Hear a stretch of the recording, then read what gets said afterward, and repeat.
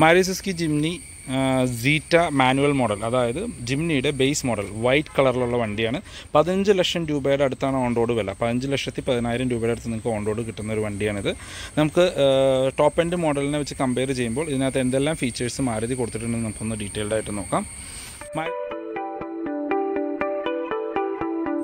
ഇതാണ് വണ്ടിയുടെ ഫ്രണ്ടിൽ നിന്നുള്ള ലുക്ക് സീറ്റ മാനുവൽ മോഡലാണ് ഗ്രില്ല് ടോപ്പ് എൻഡ് മോഡലിലും എല്ലാ വേരിയന്റിലും സെയിം ഗ്രില്ല് തന്നെയാണ് വരുന്നത്. ടോപ്പ് എൻഡ് ആൻഡ് ഒരു വേരിയന്റ് രണ്ട് വേരിയന്റ് ആണുള്ളൂ സീറ്റയാണ് ആൽഫ ഇതിലെ ഫീച്ചേഴ്സ് നോക്കുകയാണെങ്കിൽ നടുക്ക് സുസ്കിയുടെ ലോഗോ കൊടുത്തിരിക്കുന്നു. ഹെഡ് ലൈറ്റിലേക്ക് വരികയാണെങ്കിൽ നമ്മുടെ നോർമൽ ഹാലജൻ ഹെഡ് ലൈറ്റ് ആണ്. അതിനകത്ത് തന്നെ പാർക്ക് ലൈറ്റ് കൊടുത്തിരിക്കുന്നു. വാഷർ ഇല്ല. നമ്മുടെ ടോപ്പ് എൻഡ് മോഡലിൽ ഇത് പ്രൊജക്റ്റഡ് ഹെഡ് ലൈറ്റ് ആണ് വരുന്നത്. എൽ ഇ ഡി ആണ്. അതിനൊരു വാഷറും കൊടുത്തിട്ടുണ്ട്. ഇതിൽ വാഷർ റിമൂവ് ചെയ്തിട്ടുണ്ട്. പിന്നെ ഫോഗ് ലാമ്പിന്റെ ഒരു ഓപ്ഷനാണ് കൊടുത്തിരിക്കുന്നത്. ഫോഗ് ലാമ്പ് കൊടുത്തിട്ടില്ല.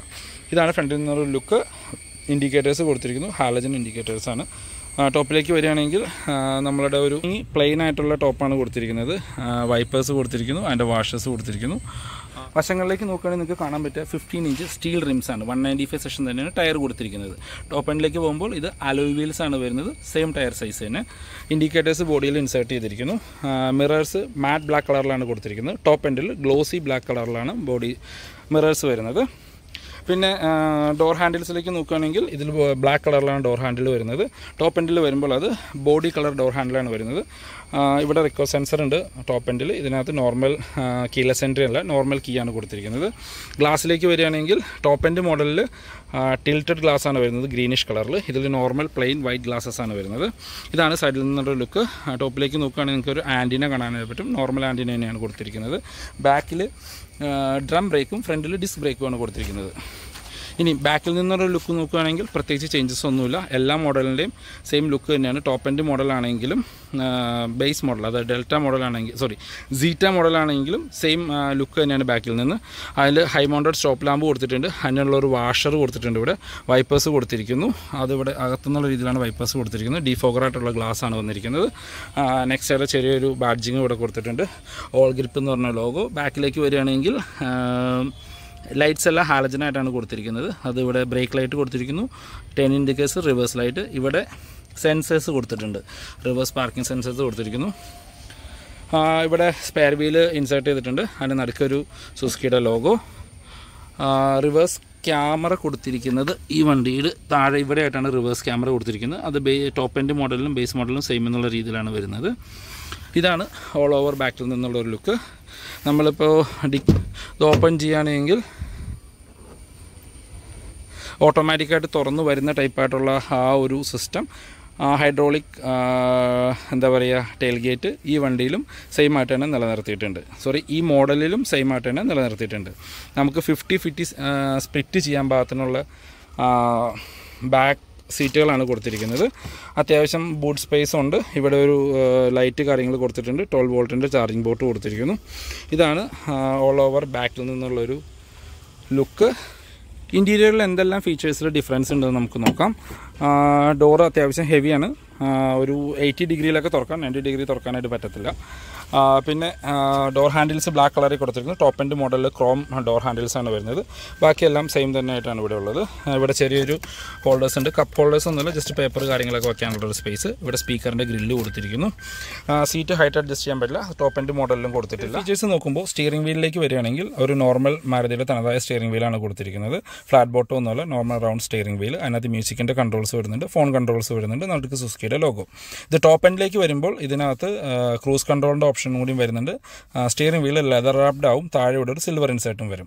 മീറ്ററിലേക്ക് നോക്കുകയാണെങ്കിൽ ടോപ്പ് എൻഡും ബേസിലും സെയിം മീറ്റർ കൺസോൾ തന്നെയാണ് വരുന്നത്. ഇത് ആർ പി എം മീറ്ററും സ്പീഡോമീറ്ററും നടുക്ക് ഇൻഫർമേഷൻ ഡിസ്പ്ലേ വരുന്നുണ്ട്.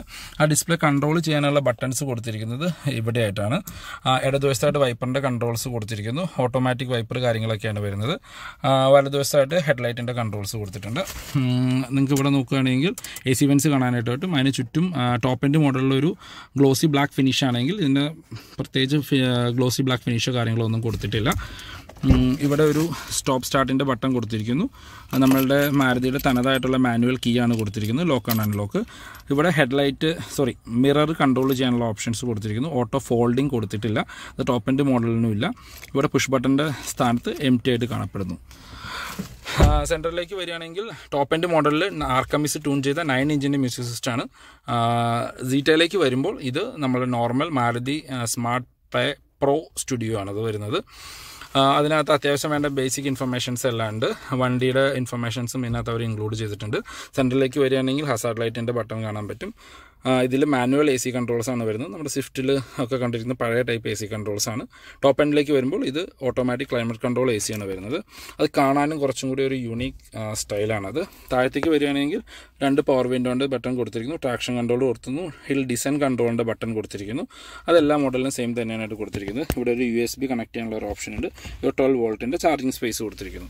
ഇത് മാനുവൽ ഗിയർ ബോക്സ് ആണ്. ഇവിടെ അത്യാവശ്യം കോയിൻസ് കാര്യങ്ങളൊക്കെ ഇടാനുള്ള ഓപ്ഷൻ ഉണ്ട്. മാനുവൽ ഗിയർ ബോക്സ് ഉള്ള മോഡലാണ് അതിന്റെ ലിവർ കൊടുത്തിരിക്കുന്നു.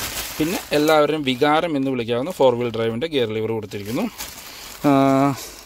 ബാക്കിലെ പവർ വിൻഡോന്റെ സ്വിച്ചസ് കൊടുത്തിരിക്കുന്നത് ഇവിടെ ആയിട്ടാണ് രണ്ട് പവർ വിൻഡോന്റെ സ്വിച്ച് കൊടുത്തിരിക്കുന്നത്.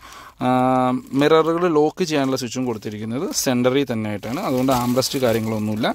ഇവിടെ രണ്ട് കപ്പ് ഹോൾഡേഴ്സ് കൊടുത്തിരിക്കുന്നു. ഇതാണ് ഓൾ ഓവർ ഇന്റീരിയറിൽ നിന്നുള്ളൊരു ലുക്ക് ഇവിടെ ഒരു ഗ്രാബ് ഹാൻഡിൽ കാര്യങ്ങളൊക്കെ കൊടുത്തിട്ടുണ്ട്. രണ്ട് എയർ ബാഗ് വരുന്നൊരു മോഡലാണിത് സീറ്റ മോഡലിൽ രണ്ട് എയർ ബാഗും ടോപ്പ് എൻഡിൽ ആറ് എയർ ബാഗുമാണ് വരുന്നത്. ഇവിടെ അത്യാവശ്യം സ്പേസ് കൊടുത്തിട്ടുണ്ട് കോയിൻസ് കാര്യങ്ങളൊക്കെ വയ്ക്കാനായിട്ട് ഗ്ലോ ബോക്സ് ചെറിയൊരു ഗ്ലോ ബോക്സ് ആണ്. വണ്ടിയുടെ സൈസ് നോക്കുമ്പോഴാണെങ്കിലും ഒരു ചെറിയൊരു വണ്ടിയാണ് നമ്മൾ ഇന്റീരിയർ കയറി ഇരുന്ന് നോക്കുമ്പോൾ അതിന് ഉതകുന്ന ടൈപ്പിലായിട്ടുള്ള ഒരു അതിന് മാച്ചായിട്ട് നിൽക്കുന്ന ഒരു ഗ്ലോ ബോക്സ് കൊടുത്തിരിക്കുന്നു. ടോപ്പിലേക്ക് നോക്കുകയാണെങ്കിൽ ഡോർ ഹാൻഡിൽ കൊടുത്ത് ഒരു ഹാൻഡിൽ കൊടുത്തിട്ടുണ്ട്. ടോപ്പ് എൻഡ് മോഡലിൽ അത് ഒരു സ്പ്രിങ് ടൈപ്പായിട്ടുള്ള ഹാൻഡിലാണ് കൊടുത്തിരിക്കുന്നത്. സൺവൈസേഴ്സ് കൊടുത്തിട്ടുണ്ട്. ടോപ്പിലേക്ക് നോക്കുകയാണെങ്കിൽ നമുക്ക് റീഡിംഗ് ലൈറ്റ് കാര്യങ്ങൾ കൊടുത്തിട്ടുണ്ട്. പിന്നെ ഇവിടെ സ്പീക്കർ ഗ്രില്ല് കൊടുത്തിരിക്കുന്നു. അത് മൈക്കിന്റെ ബ്ലൂടൂത്ത് മൈക്കിന്റെ ഗ്രില്ലാണ്. ഡ്രൈവർ സൈഡിലേക്ക് നോക്കുകയാണെങ്കിലും മിറർ കാര്യങ്ങളെല്ലാം കൊടുത്തിട്ടുണ്ട്. ഇതാണ് ഓൾ ഓവർ ഇന്റീരിയർ നിന്നുള്ള ഒരു ലുക്ക് ഇനിയും ബാക്ക് സീറ്റിലെ കംഫോർട്ട് കാര്യങ്ങൾ എന്താണെന്ന് നമുക്ക് നോക്കാം. ബാക്ക് യാത്രക്കാരെ കംഫോർട്ട് നോക്കുകയാണെങ്കിൽ ഒരു ഉയർന്നിരിക്കുന്ന സീറ്റിംഗ് പൊസിഷനാണ് കയറി ഇറങ്ങാനും കാര്യങ്ങൾക്കൊക്കെ എളുപ്പമാണ്. അത്യാവശ്യം ലെഗ് റൂം ഉണ്ട്. ഫ്രണ്ടിൽ സീറ്റ് എന്റെ ഹൈറ്റിനാണ് അഡ്ജസ്റ്റ് ചെയ്തിരിക്കുന്നത്. എന്നിട്ടും നമുക്കിങ്ങനെ കറക്റ്റായിട്ട് ഇരിക്കാമെന്ന് മാത്രമല്ലാണ്ട് ചെറിയൊരു ഒരു ഫിംഗർ രണ്ട് ഫിംഗറിന്റെ ഒരു സ്പേസാണ് ഇവിടെ ഉള്ളത്. അത്യാവശ്യം ലെഗ് റൂം ഉണ്ട്. കാൽ സീറ്റിന്റെ അടിയിലേക്കൊക്കെ നിവർത്തിച്ചിരിക്കാനായിട്ട് പറ്റും. അസീവായിട്ടുള്ള ഹെഡ് റൂമാണുള്ളത് അത്യാവശ്യം ഹൈറ്റുള്ള വണ്ടിയായതുകൊണ്ട് ഹെഡ് റൂം കാര്യങ്ങളുണ്ട് അത്യാവശ്യം നല്ല രീതിയിൽ അപ്പോൾ നമുക്ക് നിവർന്നിരുന്ന് യാത്ര ചെയ്യാനായിട്ട് പറ്റും. രണ്ട് പേർക്കാണ് ശരിക്കും കംഫർട്ടായിട്ട് ഇരുന്ന് യാത്ര ചെയ്യാനായിട്ട് പറ്റുക. അതുകൊണ്ട് രണ്ട് അഡ്ജസ്റ്റബിൾ ഹെഡ് റെസ്റ്റ് കൊടുത്തിരിക്കുന്നു നടുക്കുള്ള രണ്ട് സീറ്റ് ബെൽറ്റ് കാര്യങ്ങൾ മാത്രമാണ് കൊടുത്തിരിക്കുന്നത്. ഇവിടെ ഒരു റീഡിംഗ് ലൈറ്റ് കൊടുത്തിട്ടുണ്ട്. ഇതാണ് ഓൾ ഓവർ ഇന്റീരിയറിൽ നിന്നുള്ള ലുക്ക് ബാക്ക് യാത്രക്കാരുടെ കംഫോർട്ട് ഇപ്പോൾ ടോപ്പ് മോഡലാണെങ്കിലും സീറ്റ മോഡലാണെങ്കിലും ഏകദേശം ഒരേ രീതിയിൽ തന്നെയാണ്. ഇനി സീറ്റ ആൻഡ് ആൽഫ ഏതാണ് വാല്യൂ ഫോർ മണി വരുന്നത് ചോദിച്ചു കഴിഞ്ഞാൽ ഹൺഡ്രഡ് പെർസെന്റ് ഷുവറാണ് ടോപ്പ് എൻഡ് മോഡൽ ആൽഫയാണ് വാല്യൂ ഫോർ മണി ഈ വണ്ടികൾ തമ്മിലുള്ള പ്രൈസ് ഡിഫറൻസ് എന്ന് പറഞ്ഞാൽ ഏകദേശം ഒരു ലക്ഷം രൂപയുടെ പ്രൈസ് ഡിഫറൻസ് ആണ് വരുന്നത് രണ്ട് വണ്ടി തമ്മിൽ. ഒരു ലക്ഷം രൂപയ്ക്ക് നിങ്ങൾക്ക് ലോട്ട്സ് ഓഫ് ഫീച്ചേഴ്സ് ആണ് ആൽഫയിൽ കിട്ടുന്നത്. അപ്പോൾ ശരിക്കും വാല്യൂ ഫോർ മണി വേരിയന്റ് ആൽഫയാണ്. ഇപ്പോൾ ഫീച്ചേഴ്സ് നോക്കുകയാണെങ്കിൽ ഇതിനകത്ത് മിസ്സിംഗ് ആയിട്ട് ഫ്രണ്ടിൽ നിന്ന് ഔട്ട് സൈഡിൽ നോക്കുകയാണെങ്കിൽ നിങ്ങൾക്ക് എൽ ഇ ഡി ഹെഡ്ലൈറ്റ് ഇല്ല കീലസ് എൻട്രി ഇല്ല ഫോഗ് ലൈറ്റ് ഇല്ല. ഇന്റീരിയറിലേക്ക് വരികയാണെങ്കിൽ എന്താ ക്രൂസ് കൺട്രോൾ ഇല്ല മറ്റേ മ്യൂസിക് സിസ്റ്റം ആണെങ്കിൽ ടെൻ ഇഞ്ചിന്റെ നയൻ ഇഞ്ചിന്റെ മ്യൂസിക് സിസ്റ്റം ഇല്ല ഓട്ടോമാറ്റിക് ക്ലൈമറ്റ് കൺട്രോൾ ഇല്ല. ഒത്തിരി ഫീച്ചേഴ്സ് മിസ്സിംഗ് ഉണ്ട്. അപ്പോൾ അങ്ങനെ നോക്കുമ്പോൾ ഇതിനകത്ത് ശരിക്കും value for money if you are planning to buy Jimny go for the top end model അതിൽ automatic or manual that as you like price കാര്യങ്ങൾ നോക്കുകയാണെങ്കിൽ പതിനഞ്ച് ലക്ഷം രൂപയുടെ അടുത്താണ് ഇതിന് ഓൺ റോഡ് പ്രൈസ് വരുന്നത്. പതിനഞ്ച് ലക്ഷത്തി പതിനായിരം രൂപ. അതിന്റെ മാനുവൽ വേർഷന് ഇതിന്റെ ഓട്ടോമാറ്റിക് അവൈലബിൾ ആണ്. അത് വരുമ്പോൾ ഏകദേശം പതിനേഴ് ലക്ഷം രൂപയുടെ അടുത്ത് പ്രൈസ് വരും. പിന്നെ നിങ്ങൾക്ക് ഡൗൺ പേയ്മെന്റ് ആയിട്ട് എത്ര വേണമെങ്കിലും കൊടുക്കാം. Eight point seven five percent E M ഐയിൽ നിങ്ങൾക്ക് നാഷണലൈസ് ബാങ്കിൽ നിന്ന് ലോൺ കിട്ടും. നിങ്ങളിപ്പോൾ ഒരു രണ്ട് ലക്ഷം രൂപ ഡൗൺ പേയ്മെന്റ് കൊടുത്താൽ ഈ വണ്ടി നിങ്ങൾക്ക് ഓൺ റോഡ് എടുക്കാനായിട്ട് പറ്റും. അപ്പോൾ ഏകദേശം ഒരു ഇരുപത്തയ്യായിരം രൂപ വെച്ച് മന്ത്ലി ഇ എം ഐ അടയ്ക്കേണ്ടി വരും ഏഴ് കൊല്ലത്തേക്കാണെങ്കിൽ. അപ്പോൾ ഇതാണ് മാരുതി സുസുക്കി സീറ്റ നിങ്ങൾക്ക് വണ്ടികൾ തമ്മിലുള്ള വ്യത്യാസം മനസ്സിലായി കാണുമെന്ന് വിചാരിക്കുന്നു. ഞാൻ വീണ്ടും പറയുന്നു if you are planning to buy Jimny go for the top end model അതാണ് ശരിക്കും ഒരു വാല്യൂ ഫോർ മണി നിങ്ങൾ കൊടുക്കുന്ന പൈസയ്ക്ക് നിങ്ങൾക്ക് ഫീൽ ചെയ്യുന്നത് ആ വണ്ടിയിൽ കയറുമ്പോഴായിരിക്കും അപ്പോൾ ഇതാണ് ഇന്നത്തെ വീഡിയോ വീഡിയോ എല്ലാവർക്കും ഇഷ്ടപ്പെട്ടെന്ന് വിചാരിക്കുന്നു. പുതിയൊരു വീഡിയോ കാണുന്നവരെ ബൈ ബൈ